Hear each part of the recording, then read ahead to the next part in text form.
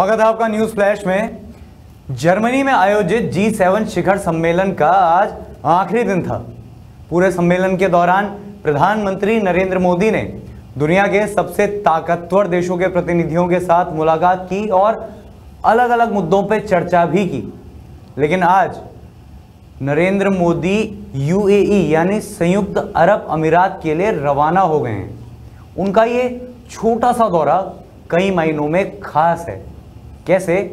देखिए हमारी ये खास रिपोर्ट। में खास है। पहला तो पीएम मोदी संयुक्त अरब अमीरात के पूर्व राष्ट्रपति और अबू धाबी शासक शेख खलीफा बिन जायद अल नाहयान के निधन पर व्यक्तिगत श्रद्धांजलि देंगे। बता दें कि यूएई के पूर्व राष्ट्रपति और आबू धाबी के शासक रहे शेख खलीफा बिन जायद अल नाहयान का निधन 13 मई को हुआ था।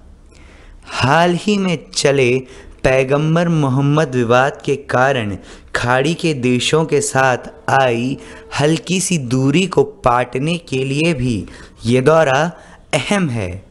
यूएई के साथ भारत के व्यापारिक संबंध हैं।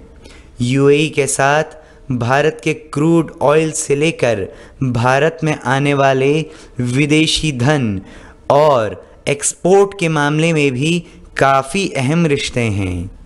आपको बता दें, देश का 60 फ़ीसदी क्रूड ऑयल खाड़ी के देशों से आता है। इसमें यूएई से 9 फ़ीसदी तेल आता है, जबकि इराक से 22 और सऊदी अरब से 19 फ़ीसदी तेल आता है। विदेश से आने वाले पैसों की बात करें तो भारत में विदेश से आने वाला करीब आधा पैसा पाँच खाड़ी के देशों से ही आ रहा है। वहीं इन खाड़ी के देशों में भारत में छब्बीस दशमलव नौ फ़ीसदी पैसा यूएई से आता है।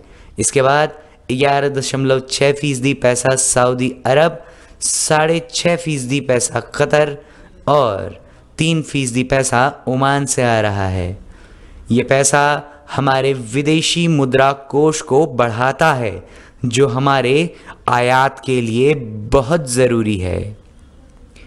यूएई के साथ न केवल हमारे आर्थिक रिश्ते हैं, बल्कि इससे कहीं ज़्यादा हमारे उनके साथ सामाजिक रिश्ते हैं, क्योंकि भारत के कई नागरिक वहाँ रह रहे हैं। कहा जाता है कि यूएई में हर तीसरा व्यक्ति भारतीय है।